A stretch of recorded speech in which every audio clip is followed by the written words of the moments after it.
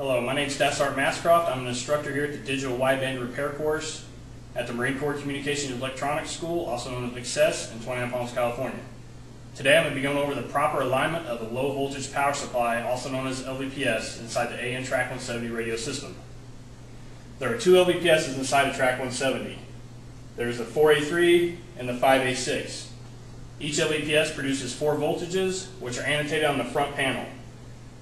On the 4A3 from left to right, it produces negative 5.3, positive 5.3, negative 15, and positive 28 volts.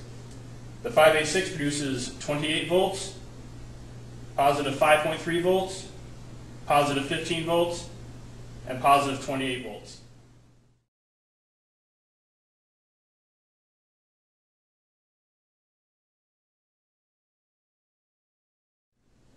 The information found in today's video can be found in the Marine Corps publication TM 08658 Alpha 14 1, Volume 1, starting on page 6, TAC 164.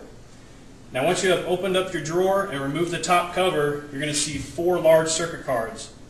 With respect to the front panel, those circuit cards are the bottom left circuit card corresponds to the first set of test jacks, top left circuit card corresponds to the second set of test jacks, the bottom right circuit card corresponds to the third set of test jacks. The top right circuit card corresponds to the fourth set of test jacks.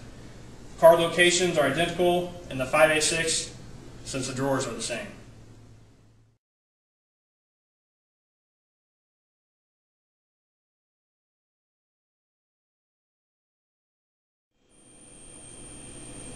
Today's alignment is going to be performed on the 5.3 volt CCA located in the 4A3. This alignment can also be performed on the other CCAs located in the 4A3 as well as the CCAs located in the 5A6 since they are similar in design. One special note is that the negative 5.3 volt and the positive 5.3 volt CCAs are identical with the exception of the output polarity. The same applies to the negative and positive 15 volt CCAs. When testing the output of the CCA with a negative voltage, when using the front panel, you're actually going to be reading a positive voltage, even though the card outputs a negative voltage. First thing you want to do when testing a card is using a multimeter, check the output of that card using the test jacks located on the front panel. When testing the output of a 5.3 volt CCA, you're going to be looking for something in the range of 5.14 to 5.46 volts. When checking the output of a 15 volt CCA, you're going to be looking for something in the range of 14.55 to 15.45 volts. When checking the output of a 28 volt CCA, you're going to be looking for something in the range of 27.16 to 28.84 volts. Now using our test scenario we have set up today, we're outputting a voltage of 5.13 volts, which is slightly out of tolerance. So if you have a card that's out of tolerance, what you're going to do is find R20 on the card. R20 is located in the same general area on all the CCAs located between your red and the green LED.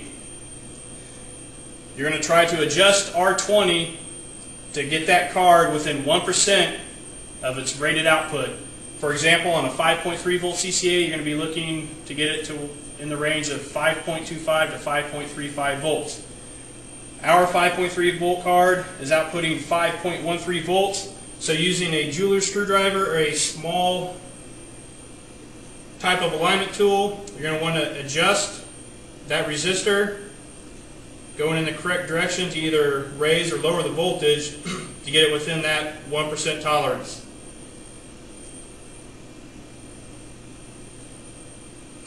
So I've adjusted this CCA to output exactly 5.3 volts. After completing this procedure on one CCA, you would move on and perform it on other CCAs as required.